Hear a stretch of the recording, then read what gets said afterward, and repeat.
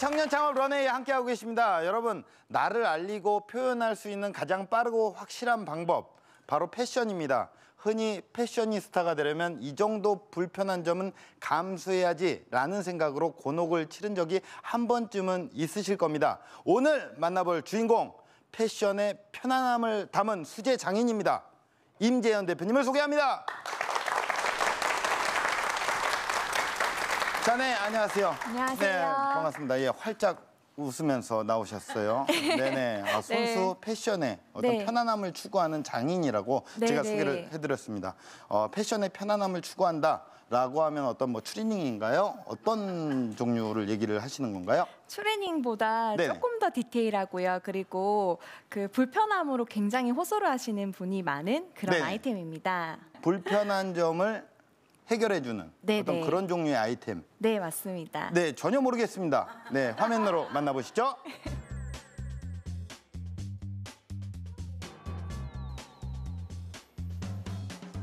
사진을 보며 이야기를 나누는 모습.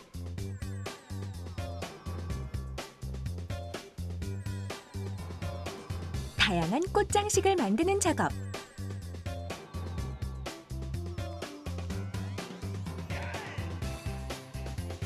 구두를 신은 채 뛰고 있는 사람들까지? 이곳의 정체가 지금 공개됩니다. 발의 건강한 반란을 꿈꾸다. 이곳은 개성 넘치는 신발을 디자인하는 패션 신발 전문 회사입니다. 일반 고객에서 유명 스타에 이르기까지 많은 사람들의 주목을 한 몸에 받는 이유가 있다고 하죠. 저희의 슬로건이 간상용 신발을 거부하자이고요. 전 연령층이 신을 수 있는 슈즈를 만들기에 누구나 편안한 신발을 원하는 사람들이 신을 수 있고 그래서 저희가 자연스럽게 알려지지 않았나라고 생각하고 있습니다.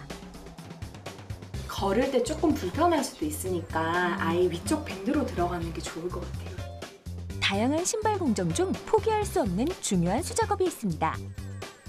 바로 신발의 정체성을 표현하는 코사지 작업인데요. 저희 제품의 전 공정은 수작업으로 진행이 되고 있어요. 그리고 특히나 코사지의 경우는 저희 콜렉션에서 가장 중요한 부분이라 섬세한 작업이 필요하고 그래서 저희 팀원 전원이 직접 참여를 해서 만들고 있습니다. 우리 라운드북 처음으로 써봤는데 착화감은 어때요? 바닥과 닿는 면이 많아서 그런지 착화감 편한 것 같아요. 신발의 생명은 편안함. 자투리 시간도 허투루 쓰지 않고 일상 속에서 꾸준히 테스트를 진행한다고 하는데요. 일상생활 속에서 신고 있으면서 어땠는지 서로 토론을 하고 그 부분에 대해서 불편한 점이 있으면 개선을 해서 다시 샘플을 생산하고 판매를 진행하고 있습니다. 화려하고 개성 넘치는 신발들로 가득한 매장. 20대에서 60대까지 폭넓은 연령층의 고객들을 고루 아우르고 있습니다. 어디 가나 다 발들을 한번 쳐다봐요. 그리고 이제 정장에도 어울리고 세미 캐주얼에도 괜찮고 청바지나 뭐 아무데나 신어도 괜찮은 디자인인 것 같습니다. 가벼운 발걸음으로 대표가 향한 곳은 현아 안녕. 안녕하세요. 선생님, 이분은 누구세요? 아, 저와 같은 사업 파트너이자 제 친남동생 임종원 대표입니다. 꿈을 보다 분명하게 펼칠 수 있었던 이유. 바로 공동대표로 함께하고 있는 남동생이 있었기 때문이라고 하는데요. 가족이기 때문에 훨씬 더 시너지를 낼 수 있는 그런 일들밖에 없기 때문에 좋은 점이 훨씬 더 많은 것 같습니다. 편안함을 담은 신발 브랜드의 도약. 앞으로의 행보가 더욱 기대되는데요. 크리에이터 일도 잘할 수 있으면서 경영도 정말 잘할 수 있는 멋있는 기업가가 되고 싶고 그리고 지금 함께하는 식구들과 함께 오래오래 같은 브랜드에서 멋있는 작업들 하고 싶습니다. 네, 신발이었습니다. 예, 아, 네. 신발이었군요. 네, 예, 네. 편안함. 네. 네. 어, 추리닝보다 좀 더 디테일하다는 게 예. 그게 맞는 말인가요? 아, 제가 조금 예. 긴장해서 네네네. 예, 트레이닝보다 조금 더 세련된 아이템이라고 말씀을 네. 드릴 걸 그랬네요. 네네. 아우, 대표님께서 계속 인터뷰도 그렇고 네네. 엄청 웃으면서 이야기를 하세요. 아. 예, 아우, 뭐 오늘 생일이에요? 그 가끔 사람들이 웃지 않고 말을 할 수도 있냐고 물어보기도 하는데 네네네. 네네 언제나 좀 잘 웃는 편이긴 합니다. 네, 어. 그리고 제가 입수한 정보에 좀 따르면 네네. 우리 대표님께서는 굳이 홍보를 하지 않았음에도 불구하고 네. 많은 연예인들이 텔레비에서, TV에서 대표님의 어떤 신발을 지금 네. 신고 있는 이 신발이죠. 네네. 이런 신발을 이렇게 신었다. 그래서 홍보 효과가 좀 되었다라는 이야기를 좀 들었거든요. 네네. 어떻습니까?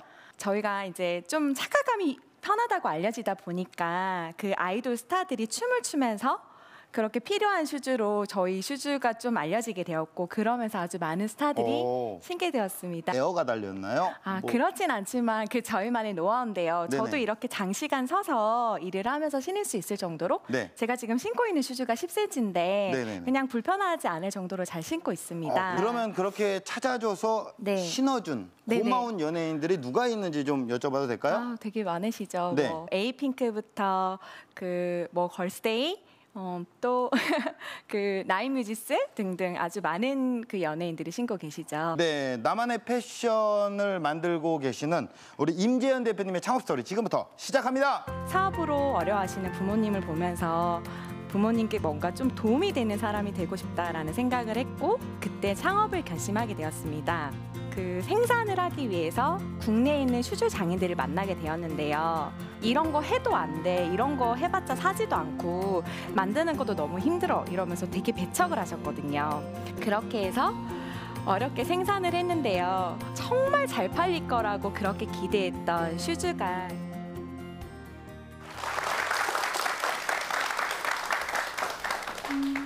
네, 안녕하세요. 저는 아크로밧 슈즈와 브로이스터 가방의 creative director 임재연이라고 합니다. 두 패션 브랜드 모두 친남동생과 함께 공동대표로 운영을 하고 있고요. 제가 이런 자리가 굉장히 쑥스러워서 늘 도망 다녔지만 정말 창업을 하시고자 하시는 분들에게 거품 없는 창업에 대한 희망을 드리고 그리고 창업의 실상에 대한 얘기를 드리고자 이 자리에 서게 되었습니다. 부족하지만 제 이야기 한번 시작해 보겠습니다. 저는 아주 어렸을 때부터 손으로 만드는 걸 좋아해서 중학생 때 패션 디자이너가 되겠다는 꿈을 갖게 됐고요. 그리고 고등학교를 들어가서 입시 미술을 준비하면서 본격적으로 패션 디자이너의 꿈을 키우게 되었는데 고3이 되던 해 부모님의 사업이 아주 어려워지면서 그 입시 미술을 포기를 하게 되었습니다. 당시에 저는 굉장히 말썽쟁이였고 부모님의 말을 듣지 않는 학생이었지만 사업으로 어려워하시는 부모님을 보면서 아 나도 이제 부모님께 뭔가 좀 도움이 되는 사람이 되고 싶다라는 생각을 했고 그때 창업을 결심하게 되었습니다. 그래서 고3이 되던 해에 쌈짓돈 5만 원을 가지고 부산 국제시장으로 갔어요. 그곳에서 제가 정말 좋아했던 빈티지 의류들을 도매로 구입해 와서 저희 집 옥상을 배경으로 친구에게 옷을 코디를 한 후에 필름 카메라로 사진을 찍어서 그 현상한 사진들을 제 나름의 카달로그로 만들었어요. 그리고 그 카달로그를 저희 반 친구들에게 선보이면서 판매를 시작하게 됐는데요. 저희 고등학교는 카톨릭이라서 굉장히 좀 보수적이고 엄격한 학교였지만 제가 선보였던 그런 새로운 빈티지 의류들은 친구들에게 정말 많은 호응이 왔었고요. 그래서 저는 매일 새벽 선생님들의 눈을 피해서 친구들이 주문한 제품들을 007 작전으로 옮기게 되었습니다. 굉장히 저희 학교에서는 상상할 수도 없는 발칙한 일이었는데요. 저는 몰래 몰래 고3 1년을 그렇게 장사를 하면서 창업 자, 자금을 모으게 됐고요. 수능을 친 바로 다음 날 부산 서면이라는 번화가에 작은 노점을 오픈하게 되었습니다. 당시에 그런 길거리에서 그 빈티지 의류를 파는 그런 노점은 거의 없었고요. 그래서 특별했던 저희 가게는 늘 문전성 시였고 그래서 1년이 지난 후에 부산 국제시장에 드디어 한, 번- 한 평짜리 점포를 계약하게 되었습니다. 그렇게 해서 너무 즐겁게 일하다 보니 한 평짜리 점포는 네 평으로 커졌고요. 그리고 컴퓨터와 카메라를 잘 다루던 제 남동생이 군대를 전역하고 같이 일을 시작하면서 온라인 쇼핑몰을 구축을 했고 그리고 온오프라인을 함께 경영하면서 저희가 자체 생산한 제품과 그 동대문 디자이너들이 만든 의류 그리고 제가 세계 각국을 여행하면서 수집한 그런 빈티지 제품들을 함께 팔게 되었습니다. 그러면서 정말 많은 아티스트들과 교류를 하게 되었고요. 그렇게 즐거운 시간을 보내면서 28살이 되던 해에 제가 원하던 창업 자금 2억을 모으게 되었습니다. 그렇게 해서 아, 이제는 내가 buying한 제품이 아닌 직접 디자인을 한 브랜드를 만들고 싶다고 생각을 하게 됐고요. 그렇게 해서 슈즈 브랜드와 가방 브랜드 두 가지를 런칭하게 되었습니다. 슈즈 브랜드를 런칭한 이유는 제가 빈티지 셀렉샵 시절에 해외에서 가져왔던 유럽의 신발들을 팔면서 느꼈었는데요. 아주 오래되고 그리고 낡은 신발이지만 멋스럽고 견고하면서 편안하기까지 했습니다. 그래서 정말 많은 분들이 찾게 되었고요. 심지어 제가 신고 있는 신발을 사겠다고 쓸 정도로 고객들의 반응이 좋았었거든요. 그래서 그 판매 아이템 중에서 그렇게 공급보다 수요가 많은 아이템이 정말 없어서 왜 이렇게 옛날 신발에 사람들이 집착을 하는 걸까? 그러면서 국내 슈즈 시장을 한번 살펴보게 되었습니다. 제가 당시에 살펴본 바로는 편안한 신발이라고 하면 그 효도 신발이라고 하죠. 굉장히 뭉툭한 형태, 정말 효도를 할 때만 사드려야 할 것 같은 그런 좀 그러니까 shape이 예쁘지 않은 형태의 슈즈였고요. 그리고 하이힐이라고 하면 이렇게 뾰족한 shape의 그런 슈즈들이 대부분이었습니다. 제가 생각하기에 사람의 발은 이렇게 생겼고 그렇게 뾰족한 이런 신발을 신게 되면은 발이 이렇게 움츠러드는데 불편하지 않을까 살펴봤더니 굉장히 많은 사람들이 무지외반증과 같은 발의 기형을 겪는 그런 불편함을 겪고 있었습니다. 그래서 저는 그때 아 정말 편안하면서도 멋있는 그런 슈즈 브랜드를 만들고자 생각하게 됐고요. 그렇게 해서 그 브랜드를 만들기 위해서 연구를 시작하게 되었습니다. 생각보다 연구를 한다는 건 쉽지가 않았고요. 그리고 비용과 시간이 굉장히 많이 들었습니다. 그렇게 연구를 하면서 그 생산을 하기 위해서 국내에 있는 슈즈 장인들을 만나게 되었는데요. 굉장히 어두운 곳에서 사람들이 찾기 힘든 곳에 다 계셨기 때문에 처음에 찾는 것도 굉장히 힘들었고 그리고 그분들을 만나 뵀을 때 워낙 국내 제조업이 어렵다 보니 얼굴들이 너무 어두우셨고요. 그리고 이런 새로운 형태의 슈즈를 개발하자고 했을 때 그분들을 정말 손사래를 쳤습니다. 이런 거 해도 안 돼. 이런 거 해봤자 사지도 않고 만드는 것도 너무 힘들어. 이러면서 되게 배척을 하셨거든요. 그래서 정말 많은 시간을 그분들에게 아, 이 슈즈를 만들어야 한다는 그런 그 이유에 대해서 설명을 드리게 됐습니다. 국내 제조업이 힘든 이유는 카피 제품을 만들기에 급급했기 때문에 정말 저희 나라에 제대로 된 브랜드를 만들 수가 없었고 그러다 보니 아주 대량의 신발들을 카피를 하면서 제조가 다른 나라로 거의 넘어가게 되었죠. 그래서 저는 정말 제대로 된 브랜드를 만들면 제조업도 살 수 있고 저희가 사업하는데도 기반이 마련돼서 모두가 좋은 그런 환경을 만들 수 있다라고 그분들을 계속 설득하게 되었습니다. 그렇게 해서 어렵게 생산을 했는데요. 정말 정말 잘 팔릴 거라고 그렇게 기대했던 슈즈가 시장에 출시가 되면서 사람들이 한 달에 한두 족밖에 사지 않는 정말 큰 경련난을 겪게 되었습니다. 그러면서 아, 저희 팀원들이 많이 힘들었었고요. 저희가 사무실 그리고 매장도 없이 전국 방방 곳곳에 백화점 팝업을 돌면서 그렇게 판매를 하고 저도 직원들의 월급을 주기 위해서 저희 집을 처분하고 찜질방에 살기까지 아주 힘든 시간들을 보내게 되었습니다.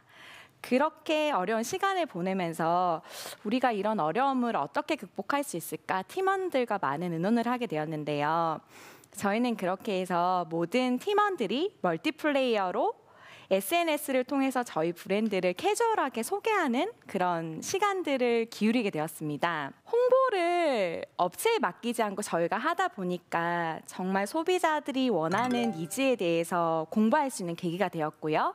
그들과 소통하면서 그들이 원하는 것을 연구하고 출시를 하면서 더 많은 고객들이 생겼고 그렇게 해서 편안한 착화감이 입증이 되면서 아까 말씀드린 유명한 아이돌 스타부터 중년의 그런 남성 고객 들 그리고 해외 고객들까지 아주 많은 고객들이 저희 신발을 찾게 되었습니다. 그렇게 고객들과 소통을 하면서 또 동시에 저희가 스스로 할 수 없었던 부분들은 조력자들을 만나서 더 시너지를 얻게 되었는데요. 제가 빈티지 셀렉샵 시절에 만났던 그 디자이너와 함께 협업을 하면서 큰 회사의 후원을 받고 그 스웨덴에서 큰 쇼를 열게 되었고요. 그리고 국내 디자이너와 또 패션쇼를 열면서 한국에서 아주 크게 알려지는 계기가 되었습니다. 그렇게 해서 저희는 스스로 위기를 극복하게 되었고요. 조금씩 성장하는 그런 회사의 모습을 찾아가게 되었습니다.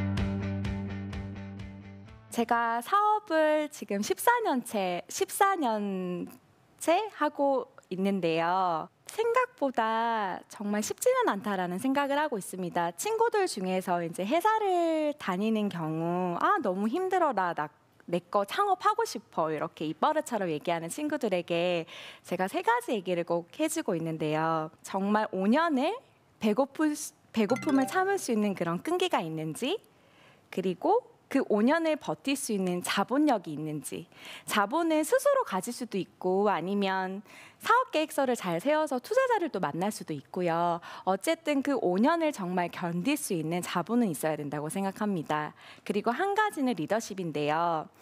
엄청 거창한 리더십이라기보다 가장 힘든 부분을 팀원들 누구보다 먼저 해서 팀원들에게 인정을 받고 그 사람들의 진정한 그런 열정을 쏟을 수 있게 만들 수 있는 그런 리더가 되어야 된다고 생각합니다. 창업은 정말 힘들지만 어쨌든 좋아하는 일을 선택하게 되었으면 그 일을 끝까지 가지고 가시면서 포기하지 않으시면 언젠가 정말 좋은 일이 일어나지 않을까 그렇게 믿음을 드리고 싶습니다. 이상으로 강연 마치겠습니다. 감사합니다.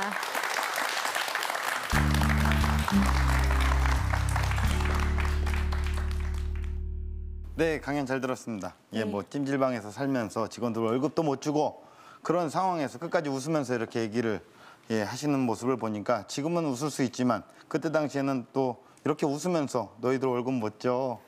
난 진짜 힘들어서 못 줘. 이렇게 얘기하시지는 않으셨을 거 아니에요. 그렇죠. 예, 예, 예. 예. 아, 사실 이게 신발이라는 아이템 자체가. 하이힐이라는 게 어, 아름다움을 추구하는 면도 있지만 어, 편안함을 추구를 한다. 네네. 예, 아까 효도 신발도 좀 얘기를 하셨잖아요. 네네. 거기에 대한 어떤 아이디어나 영감 이런 건 어떻게 얻으시는 거예요? 제가 그 해외를 여행을 하면서 그 구매를 했던 신발들 중에서 정말 특별했던 신발들은 왜 이렇게 편하지 그런 생각을 하고 국내에서 구입했던 신발들이 불편할 때 왜 이렇게 불편한가 그런 생각을 했고요.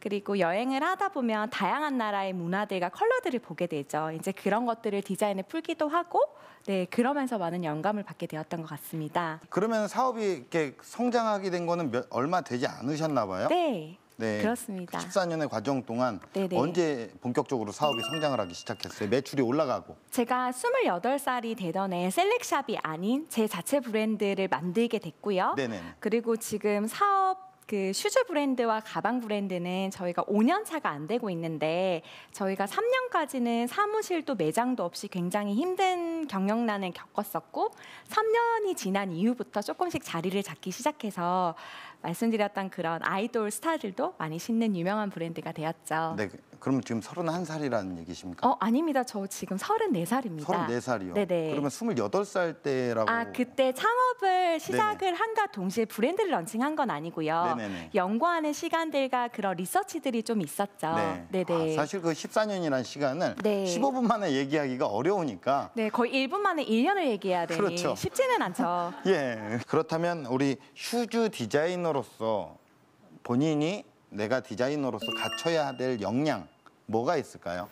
네, 그 센스라는 게 굉장히 그 주관적인 부분이라서 패션을 좋아하는 분들은 다양한 경험을 통해서 배울 수 있다고 생각을 하고 있고 그리고 생각보다 디자이너라는 그런 직업이 그 노동이 굉장히 많고 어려운 직업이라 그런 끈기는 좀 있어야 된다고 네네. 생각하고 있습니다. 네.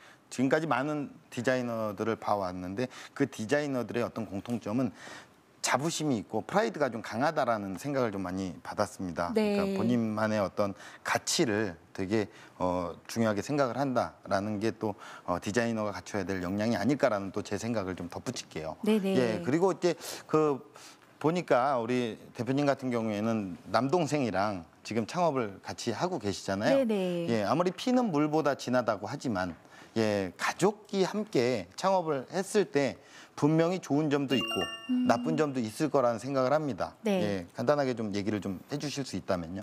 특별 하게 말을 하지 않아도 눈빛만 봐도 서로 뭘 원하는지 알 수 있으니까 피드백이 빨라서 그런 점이 정, 정말 장점인 것 같고 그리고 믿음이 많이 가다 보니 편하게 일을 할 수 있다는 점이 정말 큰 장점이고요. 네네네. 그렇게 하면서 서로를 존중하고 또 직원들 모두가 저희가 형제가 아닌 공동 대표임을 보여주기 위해서 그렇게 네. 하고 있습니다. 아무래도 단점보다는 장점이 훨씬 많다는 얘기를 네, 하시는군요. 그렇습니다. 네네. 예, 그 눈빛만 봐도 다 알 수 있다. 네네. 지금 이 자리에 남동생이 진행을 했으면 더욱 더 저보다 잘했을 거라는 아, 생각도 근데 하네요. 너무 잘하셔서 예. 그럴 것 같진 않습니다. 대표님에게 궁금하다라는 뭐 내용 있으면 질문을 좀 해주시면 되겠습니다. 많은 사람들이 패션 창업을 하면은 의상 쪽을 많이 하잖아요. 근데 왜 슈즈 쪽을 안 하고 의상 쪽을 더 많이 하는지 이유가 궁금합니다. 의류 브랜드는 정말 성장한 브랜드가 많은데 그에 비해서 슈즈 브랜드는 정말 좀 찾아보기 힘들 정도로 성공한 사례가 많이 없었습니다. 그래서 시작하기를 좀 꺼려하시는 부분도 있는 것 같고요.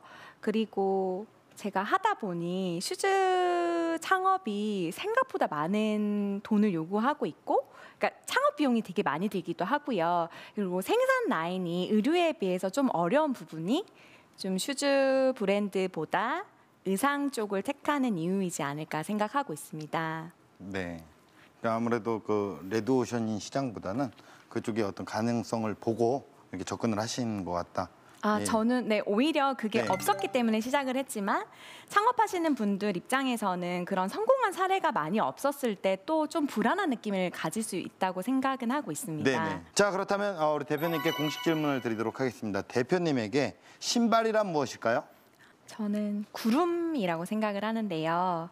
정말 구름 위를 걷듯이 사뿐사뿐 그런 신발을 만들고 있고 그리고 이 슈즈 사업을 하면서 구름을 걷는 기분으로 정말 다이나믹한 그런 일들을 경험하고 있어서 네. 네, 구름이라고 어, 생각합니다. 예, 마치 구름을 걸어보신 것처럼 네네. 이렇게 또 얘기를 하시고 지금 의상 자체가 구름입니다. 아, 거의 뭐 이렇게 예 블링블링한 모습이 예 또 이렇게 바지를 여기까지 올려 입으셨는데 치마를 아, 네네. 예, 매출이 그만큼 올라간다는 거죠.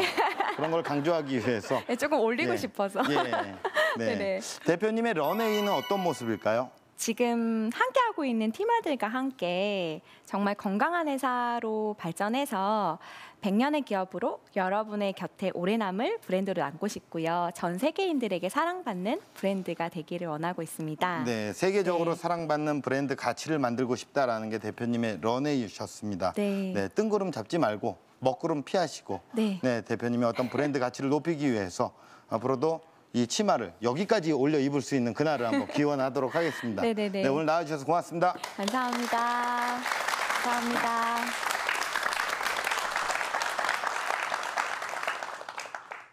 네, 여러분, 여러분이 지금 창업을 향해 한 발 한 발 힘들지만 굳건히 나아갈 수 있었던 이유 바로 가슴 속 깊이 품어두었던 꿈이 있기 때문에 아닐까요? 이제 더 큰 무대를 향해 포기하지 마시고 전진할 차례입니다. 청년 창업 런웨이였습니다. 고맙습니다.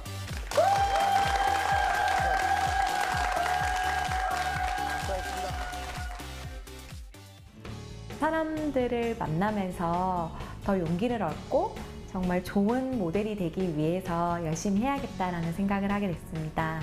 열정을 가진 사람들은 남들보다 좀더 힘든 과정을 겪을 수밖에 없다고 생각하고요. 또 그런 고난의 시간들이 지나다 보면 정말 자신이 원하는 그런 값진 결과가 오지 않을까라고 생각합니다. 지금은 숨겨둔 재능을 마음껏 뽐낼 시간. 나만의 세상을 만들어 보세요.